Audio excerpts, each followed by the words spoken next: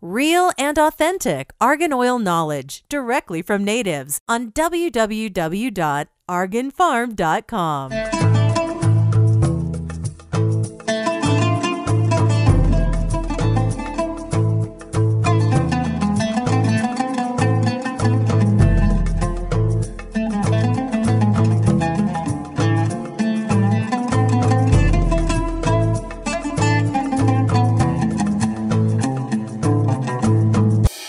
سماك الله الله خير فاطمه دابا ياك قبلتي بعدا ما بقيتيش حشمانه بارك الله فيك بارك يا الله أخي فيك بارك بارك الله. الله Some so called argan oil experts and sellers are preaching that goat's argan oil has the same quality as the argan oil extracted out of hand harvested argan fruits.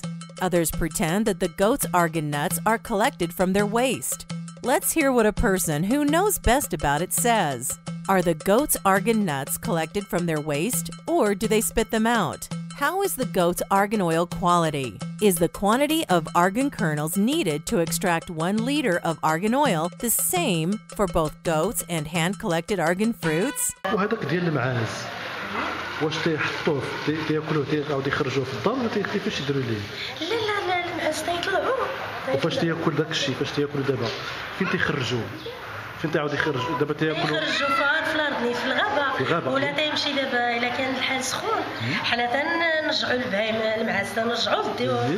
دابا الديور تيلوحوا في هذيك داك الشيء تاع الكاس آه في الدار آه في الدار وديال المعاز تا هو شحال ديال شحال بحال بحال؟ ديال المعز آه، لا لا ماشي بحال بحال آه. لا لا ديال المعز تيكون نقص شويه لا على حساب قلت لك على حساب شحال ديال آه الزنين يديروا الكيترو راه ديالها بحال بحال اخويا السنين بحال. بحال ديال المعز بحال ديال رتا المعز Contrary to some misleading claims you can find in many online sources, the goat's argan oil isn't collected from the animal's waste. They actually spit it out after eating the fleshy pulp.